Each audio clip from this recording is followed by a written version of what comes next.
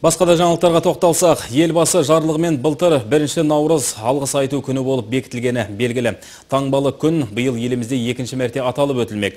Осыған орай Астровский атындағы қалалық кітапхана қабырғасында жүректен жүрекке деп аталатын тәрбиелік мәні зор іс-шара ұйымдастырылды.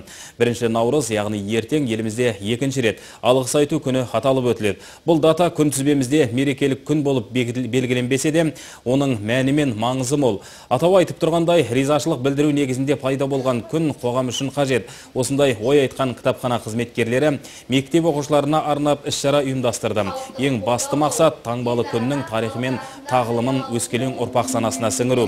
Бұл ретте шара бастамашыларына белгілі қаламгерлер мен ғалымдар да өз көмектерін білдіруді жөн санаған екен алғыс айту күні мерекесі қазақстанда тұрып жатқан басқа этнос өкілдерінің қазақ халқының мейірбандығына қамқорлығына және қонақжайлығына алғыс айт, алғыс білдіру күні болып белгіленген Гер, геральд бельгердің шығармасының желісімен сахналанған қойылым қойып және бейнематериалдар арқылы мерекенің тарихына оның негізгі идеясына да тоқтала отырамыз.